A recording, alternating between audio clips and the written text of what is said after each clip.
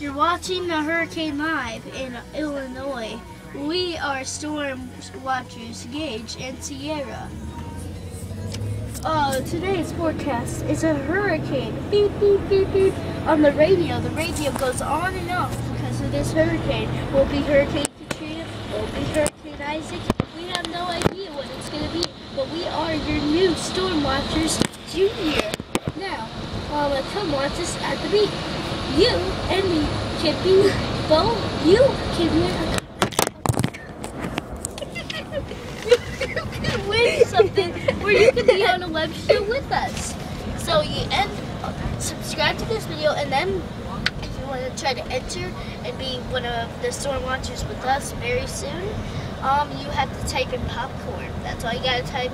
And if you type popcorn three times, that counts as three votes. You can vote as much as six times.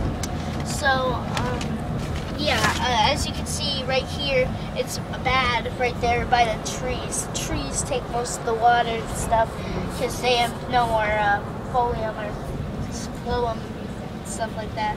Uh, and so, like, we had no idea. Hurricane uh, Isaac just came. It was like a month, two ago. I don't know. Maybe Like, it was pretty crazy ago. here. Pretty crazy. It was going to get bad, but it was really actually not deathly. And uh, Hurricane Katrina was um, seven, eight years ago. I'm not sure. Um, but it's actually like a brother to Isaac.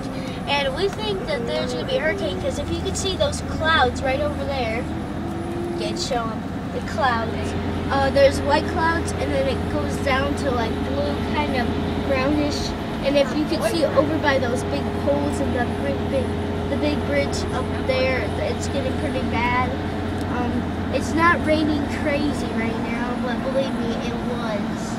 Hey, Yesterday, yesterday was. uh, later to uh, later today we will um, get it when it's pouring outside. Okay, so you'll you'll get another video from us. For now, that's Sierra and Gage, and we're out.